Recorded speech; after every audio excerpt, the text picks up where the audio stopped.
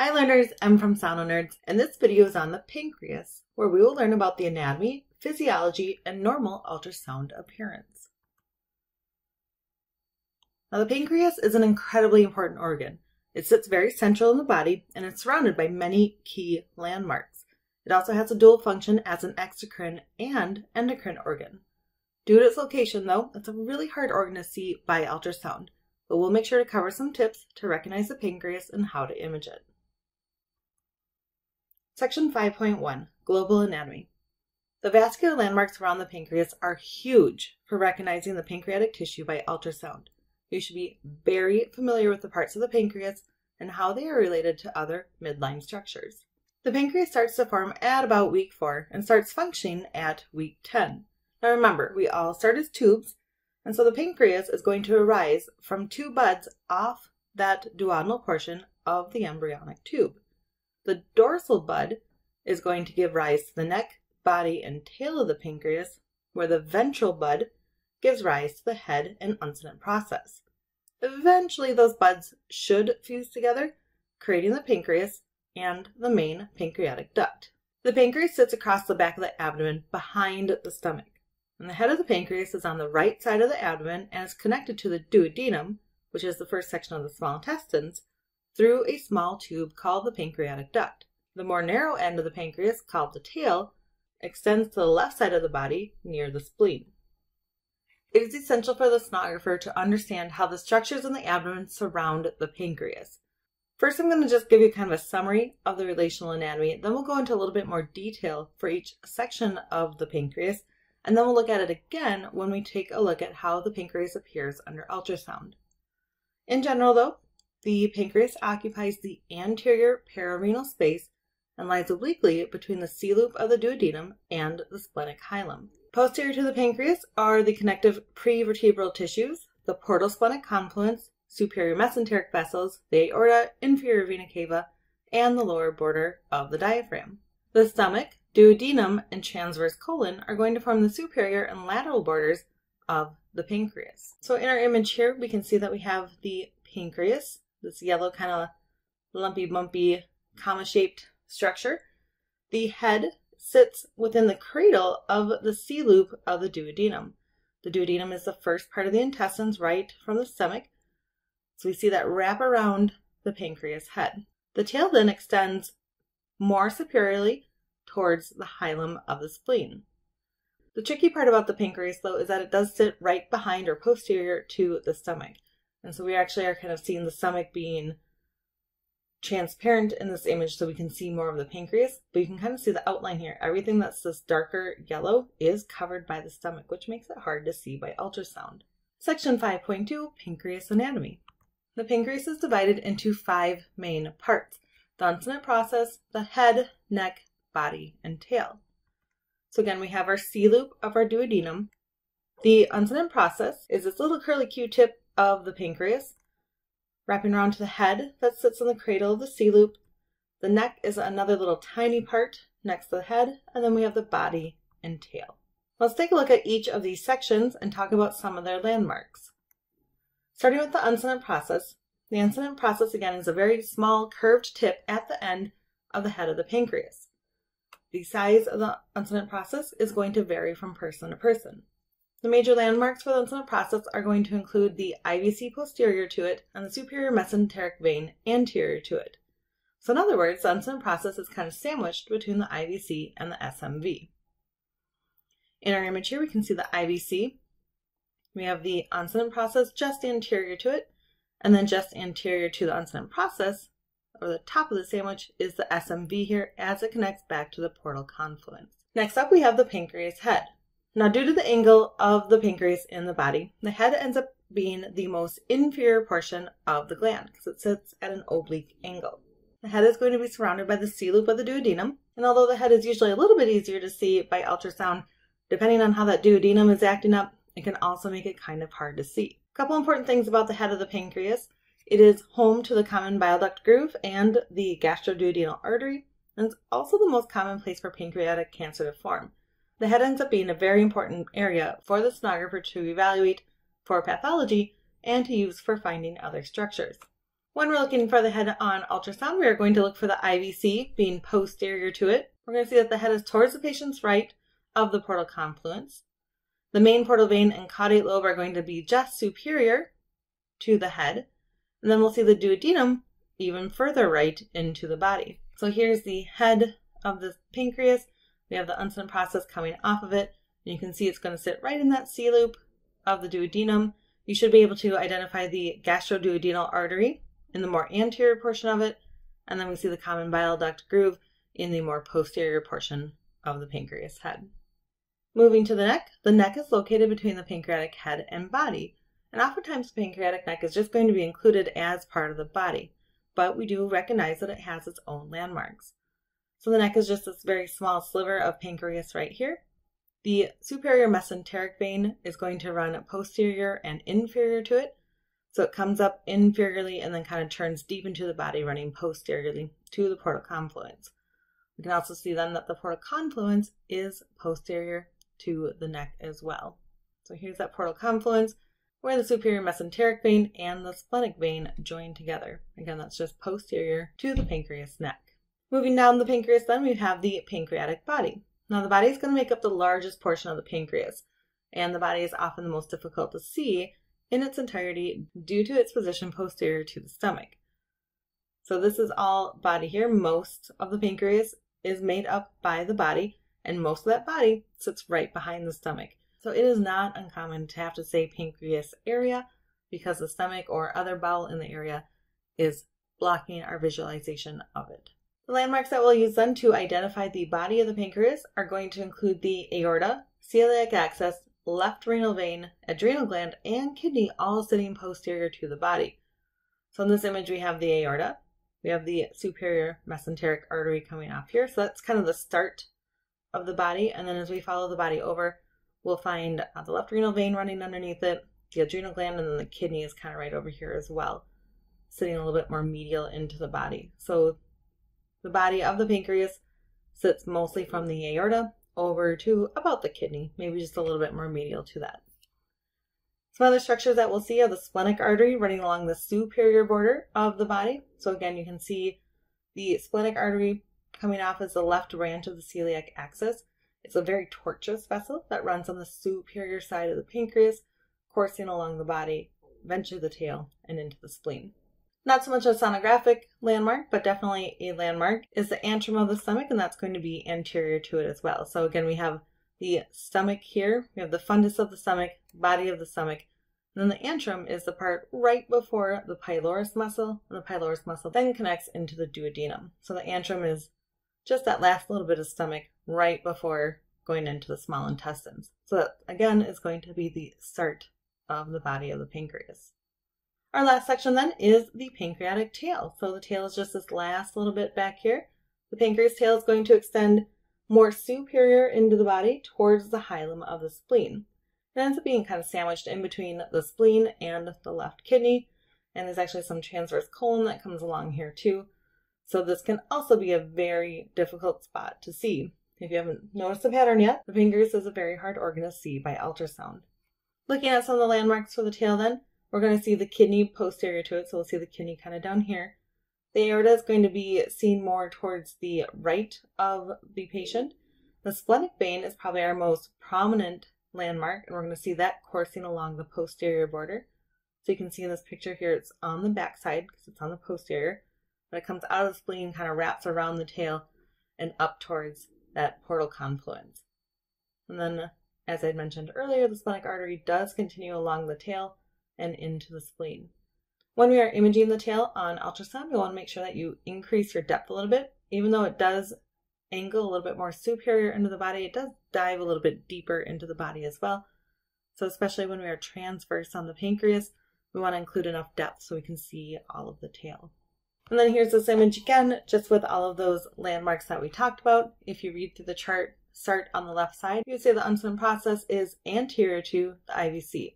Unson process is posterior to the SMV and pancreas. So the first time I presented everything, I told you how the landmarks are in relationship to the pancreas. In this chart, I'm telling you how the pancreas is in relationship to the landmarks. So it's a little bit backwards between the two. You should know how to flip-flop them both ways. The IVC is posterior to the head of the pancreas. The head is anterior to the IVC. You should know it both ways. Section 5.3 Pancreatic Ducts. There are two ducts in the pancreas that we need to know about. The first one is the duct of Wirsung, and the second one is the duct of Santorini. Now, the duct of Wirsung is also known as our main pancreatic duct, and that makes sense because it runs all the way from the tail down through the body into the head, joins up with the common bile duct, and then will enter through the ampulla of Vater into the duodenum. So the duct of Wirsung is the big one, it's the main pancreatic duct. The accessory duct then is also known as the duct of Santorini. And the duct of Santorini does branch off of the main duct and it is going to have its own entrance into the duodenum about two centimeters superior to where the ampulla of Vater enters. So duct of is the main pancreatic duct, duct of Santorini is the smaller accessory duct for the pancreas. Recall then too that at the ampulla of Vater we have the sphincter of Oddi, Remember that it's going to be the muscle that controls how the bile and pancreatic enzymes enter into the duodenum. Section 5.4 Pancreatic Vasculature. Now, the pancreas is a highly vascularized structure. However, we cannot see most of these blood vessels, and so they hold very little importance to ultrasound in the sense of being able to visualize them and to make any diagnoses off of that. The big two that you need to know are that the gastroduodenal artery is going to supply the head of the pancreas, and the splenic and superior mesenteric artery are going to be responsible for supplying the body and the tail with blood. So remember, we have our aorta leaving the heart. One of the big first branches is the celiac axis. The left branch is the splenic artery. The right branch is the common hepatic artery. The common hepatic artery is going to give rise to the gastroduodenal artery. After the gastroduodenal artery branches off, the common hepatic artery turns into the proper hepatic artery as it heads to the liver. But we are going to focus a little bit more on that gastroduodenal artery in relationship to the pancreas head. As the gastroduodenal artery courses inferior across the pancreas head, it's going to give rise to two more branches that are more responsible for supplying the head and the duodenum and that's going to be the anterior pancreaticoduodenal artery and the inferior pancreaticoduodenal artery. Both the anterior and inferior arteries are going to not only supply the head, but they are going to continue branching over into the duodenum to supply blood flow to the small intestine. Looking at the other side, then the splenic artery is going to mostly head to the spleen, but it also has lots of little branches that are going to come down and perfuse into the pancreas. As far as venous drainage goes for the pancreas, it is performed mostly by the splenic vein. Uh, we do get a little bit of drainage from the superior and inferior mesenteric veins, and all the blood from both of those are going to pool back into the portal vein to be processed by the liver. Section 5.5 Variants. Just like with all of our other organs, sometimes the pancreas doesn't get put together quite right, so we do see some anatomical variants. So the first one we'll talk about is called an annular pancreas. Now, the annular pancreas is a condition in which a ring of pancreatic tissue surrounds the second portion of the C loop of the duodenum. So remember in our normal pancreas, our pancreas sat at an angle and the head was just kind of cradled within that C loop. Well, with the annular pancreas, instead of being cradled within that C loop, it comes out and around and kind of gives the duodenum a big hug. So if we were to look from it from the top, we'd have the tail, and this would be the head here. Normally the head would end at the duodenum, in the case of the annular pancreas, it wraps around the duodenum. And that can cause some issues. That can cause some stricture within the duodenum, causing issues of how the stomach empties and how well the intestines work. Next, we have the ectopic pancreas. Ectopic pancreas is also known as a heterotopic or an aberrant pancreas. And basically, with this variant, what we'll see is little bits of pancreatic tissue scattered throughout the GI tract it doesn't have any ductal or vascular connection to the pancreas. It's just kind of its own little blob of pancreas out there. So because these little bits can be very small, it is actually very difficult for ultrasound to diagnose them. But we do have an example of one on the CT here in the red circle, just a little bit of pancreas tissue that does not connect back to the main part of the pancreas. Next up then we have agenesis. As we've learned with other organs, A means abnormal. Genesis means creation of, so this is the abnormal creation of the pancreas. Now it's really uncommon for all of the pancreas to be missing. So typically agenesis is going to present more as a good portion of the pancreas missing. And as this image is showing us, we're actually missing a lot of the dorsal portion of the pancreas. It should kind of be hanging out over here because this is the aorta right here. So we should expect the body and the tail of the pancreas to kind of be hanging out in this area. This is the spleen coming in here. So in this patient in particular, they have their ventral bud, their dorsal bud never formed. And again, it's more common for them to be missing a big part of their pancreas versus missing the whole thing. And lastly, we have the pancreas divisum. Now, pancreas divisum is the most common anomaly that we'll see of the pancreas. Normally, when we are developing, remember we have that ventral bud and we have the dorsal bud. And usually they're going to fuse together to create the entire pancreas and the main pancreatic duct. In the case of pancreas divisum, the dorsal portion and the ventral portion never fuse, causing the dorsal portion to have its own ductal system and then the head or the ventral portion having its own ductal system and being the part that connects with the common bile duct. So in our normal pancreas, usually this blue duct is going to make up most of the main duct. It's going to fuse in with the ventral, and that's going to complete the main duct. And then we have that little accessory duct that keeps going into the duodenum. In this case, the whole dorsal duct just does that second opening into the duodenum, where the ventral duct is the one that will connect with the common bile duct and enter in through the ampulla vater. They have no connection with one another. Section 5.6 Microanatomy. Now, the pancreas is responsible for both exocrine and endocrine functions. Therefore, the pancreas is made up of different cell groups that perform these functions.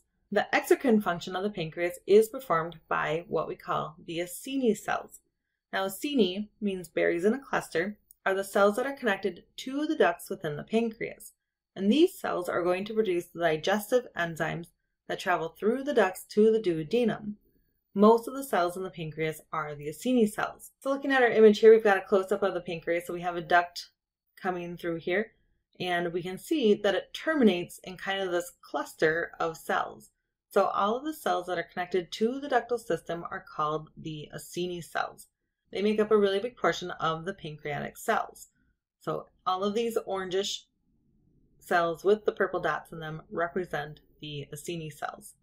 Now, the endocrine function of the pancreas is going to be performed by the cells that are found in the islets of Langerhans. And the islets of Langerhans are going to make up the rest of the cells in the pancreas, really only counting for about 5% of the total volume. So you can see in the middle of these acini cells is this kind of green area, and this is the islet of Langerhans. Within the islet of Langerhans are five more types of cells. We have alpha cells, which I've got represented by the blue the beta cells being represented by the green, delta cells, which are the pink ones, the gamma cells, which are these yellow ones, and lastly the epsilon cells, which are the light blue ones. Now the green ones, the beta cells, are the most abundant, making up about 65 to 80% of the islet of Langerhans cells, followed then by the alpha cells. These two types of cells do a lot of the endocrine work that the pancreas is responsible for. The rest of the cells have important work to do as well, but are less abundant within the islets of Langerhans. The other thing we'll see in the islets of Langerhans are a multitude of capillaries. That's all these little red spots here. Lots of capillaries to grab those hormones and bring them out to the body for circulation. So I've got this picture again with just a little bit more information here. Remember our acini cells are the ones that are connected to the ducts. They're going to be responsible for digestive enzymes and are part of the exocrine system. So the ducts and the acini cells are the exocrine part. All the other cells are found in the islets of Langerhans and are all responsible for endocrine function. And we're going to go over this a little bit more in detail in the physiology portion. Section 5.7 Physiology. Knowing that the pancreas is an endocrine and exocrine organ, we'll talk about each of its physiological roles separately. The physiology of the pancreas is also more related to systemic disease versus disease that would arise directly from the pancreas, and very few diseases of the pancreas are able to be diagnosed solely by ultrasound. Therefore, we're going to do a very limited discussion of the physiological function of the pancreas. So we're going to start with the exocrine function, the functional unit of the exocrine portion of the pancreas is the acini cells and the ductal system. Remember back to our image, it was the orange cells, the acini cells, that were connected to the ducts that we are talking about. Now, those Acini cells are responsible for making enzymes for digestion, storing those enzymes, and then secreting them when the time comes. The ducts also have an important role in the exocrine function, in that when they receive the right hormones, they're going to secrete water or like an aqueous substance that's going to help flush the Acini enzymes through the ductal system. The exocrine portion of the pancreas is controlled by what we call the parasympathetic system. That's known as the rest and digest system. It's, it's the part of our nervous system that's kind of taking care of some of those background jobs. And this is opposed to the sympathetic nervous system, which is more of our fight and flight system. Going back to the Acini cells, remember I said that they're responsible for creating enzymes. Well, those are the digestive enzymes that the body needs to help break down those macronutrients that we eat. The Acini cells are responsible for making amylase, lipase, and proteases. Those proteases are going to include trypsin, chymotrypsinogen, and carboxypeptidase. And lastly, they're also responsible for creating bicarbonate. Now, each of those digestive enzymes are going to be responsible for breaking down certain complex macronutrients that we ingest. Amylase is going to break down carbohydrates, lipase is going to break down the fats, and the proteases are going to break down different proteins. So the Acini cells in the pancreas are responsible for making these digestive enzymes, but they're also responsible for storing them. And what's kind of interesting is that technically the body is made of these macronutrients that these enzymes are responsible for breaking down. So what the Acini cells do is stores these enzymes as zymogens. And these zymogens are kind of inactive enzymes until they become activated in the small intestine. So they hang out safely in the pancreas. And then once we eat and they get released into the duodenum, then they're activated, they kind of lose their shell and they can break down the food that we eat. So we have a self protective system so we don't digest ourselves. To get those digestive enzymes into the duodenum, though, the Acini cells have produced these enzymes and then they're kind of hanging out as zymogens, waiting to be secreted. Once they are secreted into the main pancreatic duct, that aqueous substance is going to be flushed through, grabbing those zymogens where they're going to go through the ampulla of Vater and into the duodenum, where they can do the job that they need to do on the chyme or the stomach mash that has passed through into the first part of the small intestine. The bicarbonate that the Acini cells are responsible for creating is something that is going to neutralize the stomach acid to protect the small intestine. So the stomach has a mucosal lining, and its whole job is to hold this hydrochloric acid to help start breaking down our food. Well, the duodenum doesn't have that protective mucosal layer. So as that acidic chyme comes into the duodenum, it recognizes the acidity. Secretin is released from the duodenum, which tells the pancreas to release bicarbonate. And that bicarbonate is going to come in with the digestive enzymes to help neutralize the chyme and make a more basic environment so those digestive enzymes can operate better. So, to recap how digestion works between the pancreas and the gallbladder, first things first, just the sight of food is going to make our enzyme production start. When we put that food into our mouth and start mashing it up, our salivary glands are going to produce saliva, and in that saliva is amylase. We're then going to use our muscular tentacle, our tongue, to swallow that food it's going to go down the esophagus and into the stomach. Now, down in the stomach, there are specialized cells that create mucus and pepsin and hydrochloric acid, and this is all going to help start to break the food down even further. After rolling around in the stomach for a little bit, the food is going to pass through the antrum of the stomach and into the duodenum. It is now called chyme.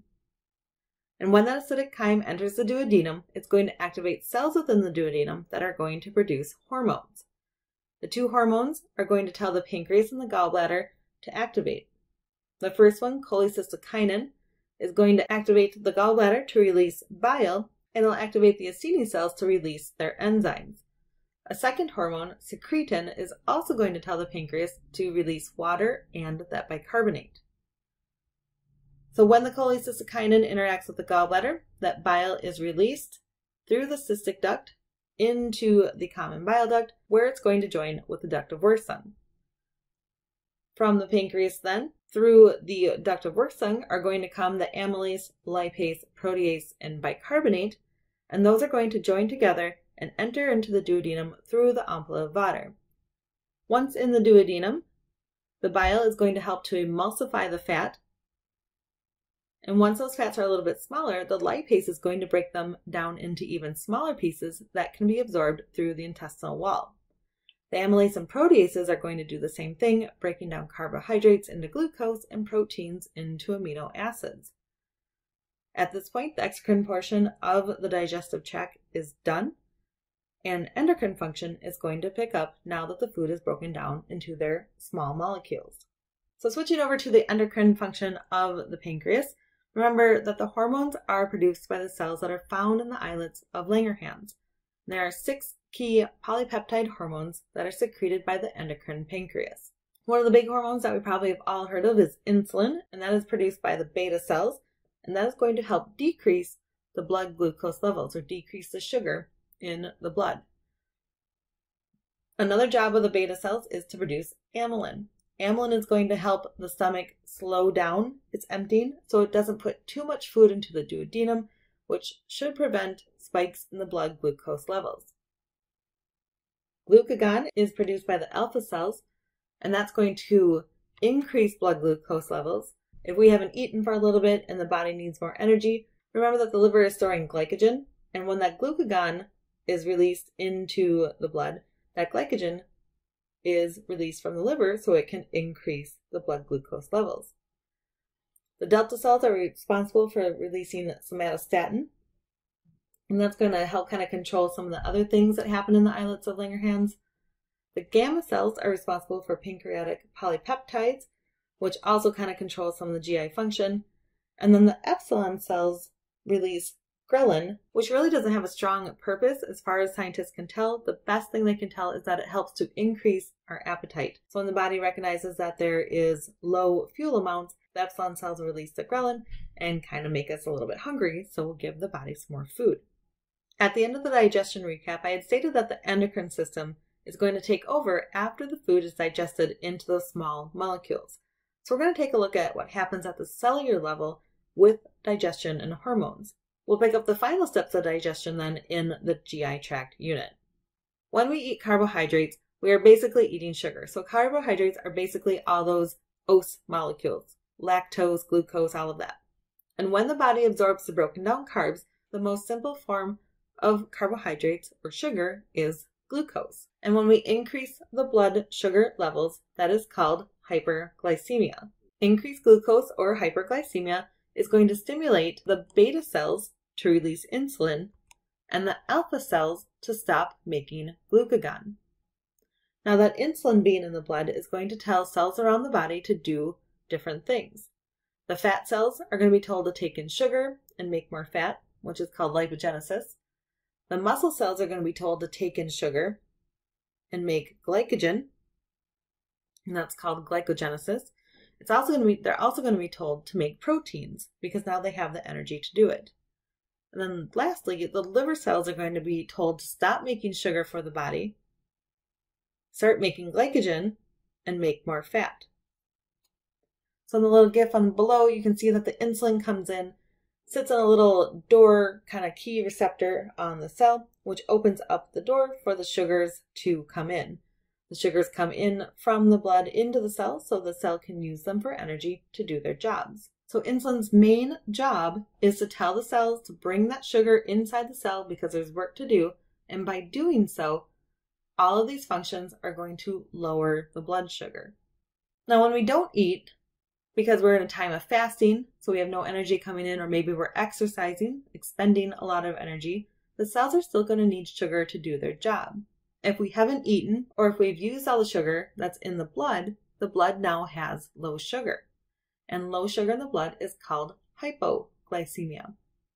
And when the body is in a state of hypoglycemia, it is going to activate the alpha cells of the pancreas to release their glucagon. And glucagon is also going to tell the beta cells that there's going to be some work to do soon because the body's going to get ready to send some more sugar out. And the only way that sugar can get into the cells is with that insulin from the beta cells. So the glucagon goes out into the body and talks to a bunch of cells again.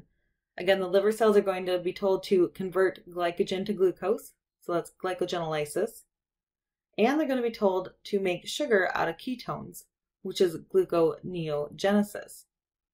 Those fat cells are going to be told to break down and send ketones to the liver so the liver can make that sugar.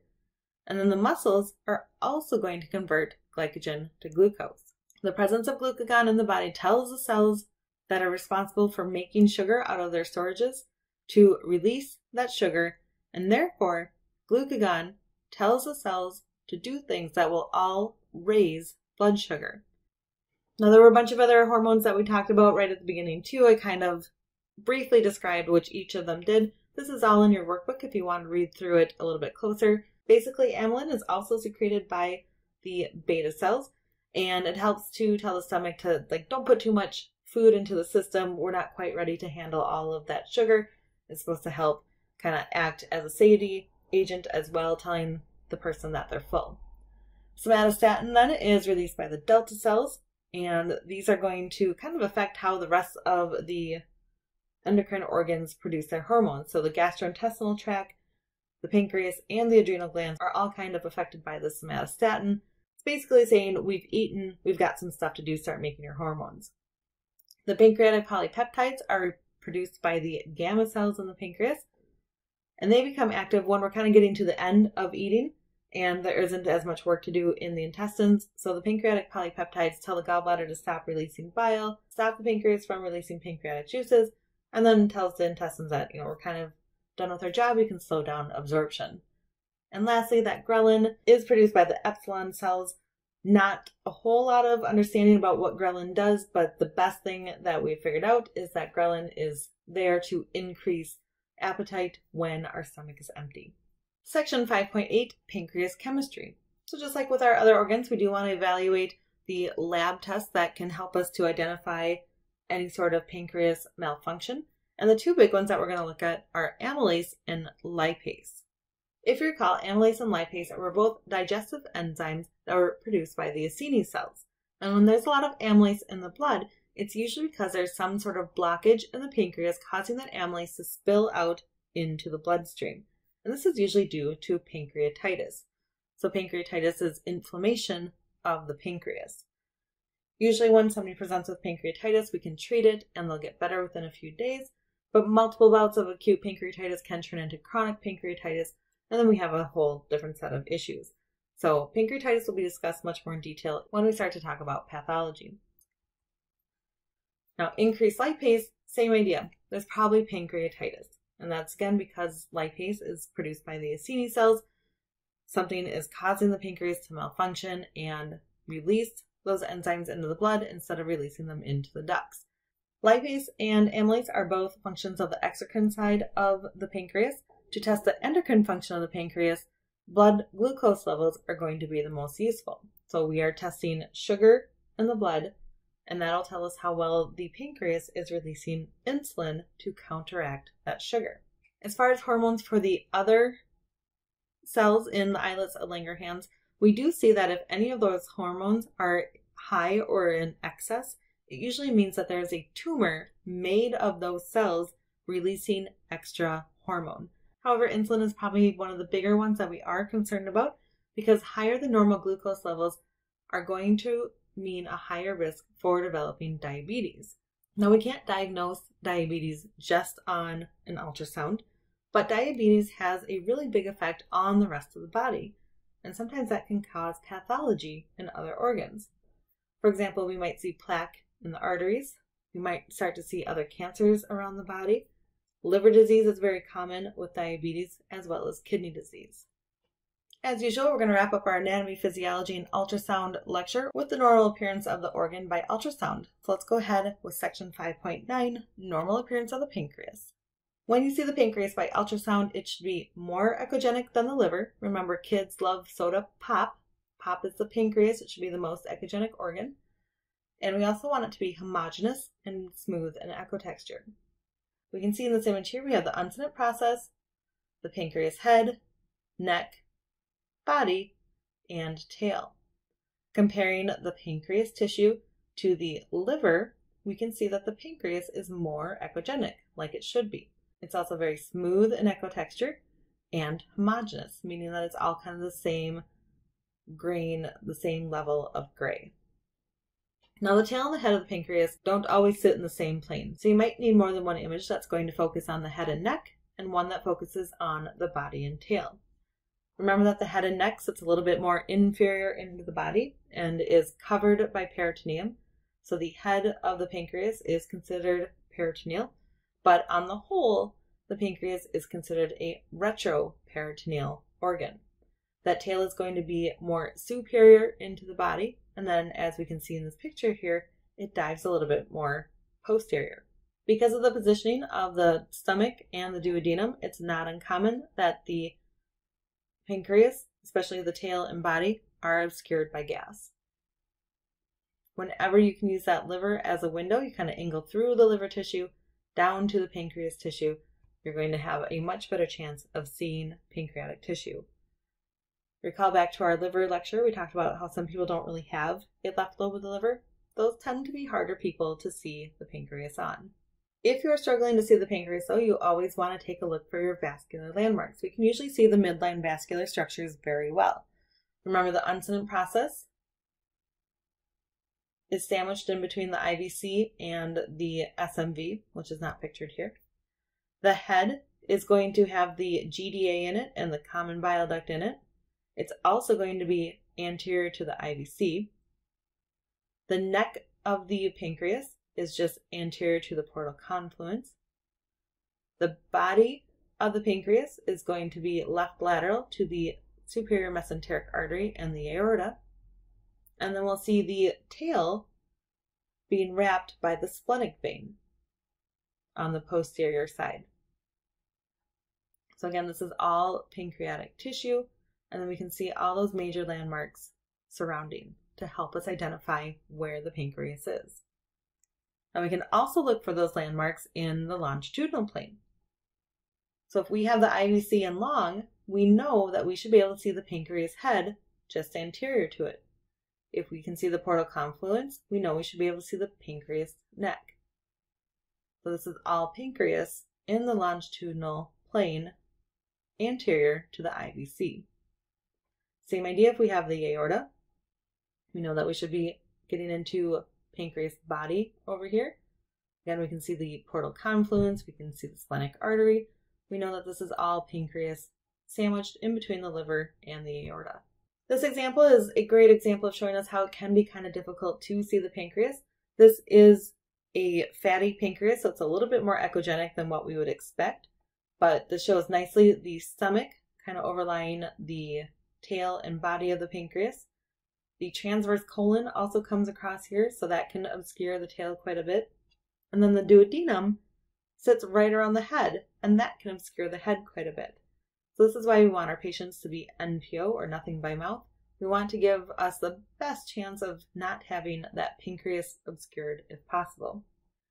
But we can use our portal confluence as a landmark. We have the aorta as a landmark to help us identify where that pancreatic tissue is. As far as measuring the pancreas, we don't typically measure the pancreas, but if it looks kind of big to your edematous and you want to measure it, you should find that the measurements of the pancreas are less than 3 centimeters in the AP dimension at any point. So notice in the chart down here, nothing is bigger than 3 centimeters. The head and the body are the thickest parts. Uh, everything else should be less than that 3. Again, we don't typically measure the total length of the pancreas. If you wanted to, you could typically in the 12 to 18 centimeter range. Oftentimes, just imaging the pancreas enough, you'll start to kind of get a feel for what a normal pancreas size looks like. And it'll be easier the more that you do to recognize a pancreas that is on the larger side. Sometimes you will be able to see the duct of Wirsung going through the middle of the pancreas. You do want to make sure that you use color on it because the splenic artery can also kind of mimic the duct of Wirsung. So put color on if it doesn't fill in, then it's most likely the duct, and then you'll want to measure it. And any ducts that measure more than two millimeters in the pancreas are considered abnormal. Make sure too that you don't get confused with the gastroduodenal artery and the common bile duct. Remember, those are going to be more in transverse in the pancreas head. The gastroduodenal artery is the more anterior spot and should fill with color, where the common bile duct is the more posterior spot at the head and should not fill with color. Again, these are more into the head, where the duct of Wirsung is going to be visualized and long through the body of the pancreas. Let's wrap up this lecture then with talking a little bit more about the pancreas protocol in section 5.10. So the pancreas is typically included in the right upper quadrant ultrasound and the abdomen complete ultrasound. Depending on your facility, it may or may not be part of the liver ultrasound protocol. However, there are multiple indications for ordering an exam that includes the pancreas. Those are going to include getting measurements of the pancreas if another imaging modality showed that it was large, looking for masses that involve the pancreas itself or the biliary tree, looking for any sort of obstruction along the biliary or pancreatic ductal path, using ultrasound to diagnose and to follow up acute or chronic pancreatitis, again diagnosing or following up pancreatic pseudocysts, which are pockets of digestive enzymes outside of the pancreas. We can also perform endoscopic pancreatic ultrasounds in the event that we saw something with a transabdominal ultrasound. They go to CT, and the CT results don't tell us a whole lot. We can go in with an endoscope and perform an ultrasound from inside the esophagus. So, speaking of the esophageal ultrasound, first we usually start with that transabdominal, and that's going to just be using one of our curvilinear probes or possibly a vector probe using a lower frequency because that is a transducer that we are using for most of our abdominal work. Now, that transesophageal ultrasound means inserting an ultrasound camera into the esophagus and lowering it to the level of the pancreas. So here we have that example. This is the ultrasound head. This is inside the esophagus. And this is the pancreas tissue right next to it. Here is the splenic vein and the portal confluence. So we can see that pancreas parenchyma in so much more detail because we are right next to it. Patients are typically sedated for these. These usually are not performed within the general ultrasound department and are performed by a specially trained doctor with the endoscope transducers. Patient prep for the pancreas is going to follow right along with what we've been doing for abdomen already, which typically means NPO or nothing by mouth for six to eight hours. To position the patient, the pancreas is typically visualized best with the patient on their back. However, you can get possibly a little bit more visualization if you try sitting the patient up a little bit. Remember with that left lobe of the liver being directly superior to the pancreas, by sitting them up a little bit, it can kind of cause that liver to flop down. And now we can use the liver as a little bit more of a window to visualize the pancreas. Remember that breathing can also change the positioning of the organs. And so you should always try multiple techniques to visualize the pancreas when possible. Some other scanning tips that I've got for you here are also in your workbook, so make sure to take a read through them. I think the biggest ones that I go through quite often with new scanners is that you really want to use that liver as a window. Position your transducer above the left lobe of the liver, and then you're going to angle through the liver and down towards the patient's feet to image the pancreas. If you think about getting your trans left lobe image, the pancreas is typically right below it and in that picture. So try that window when trying to visualize the pancreas. Remember to use enough pressure in this area as well. There's a lot of bowel in the area, so you want to make sure that you're kind of pushing that bowel out of the way so you can get closer to the pancreatic anatomy because it does sit a little bit deeper into the body. As far as protocol goes, there's not a whole lot to it.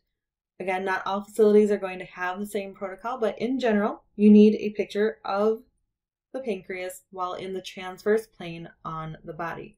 So quite often we label it transverse pancreas, even though we have the pancreas completely elongated out. If the head and neck and body and tail do not sit well enough in the same plane to get a good diagnostic picture, it's okay to take a focus picture at the body and tail and a focus picture at the head and neck. What I found that works out best is to have the notch of the transducer at the 9 o'clock position to image the head and neck, so a true transverse.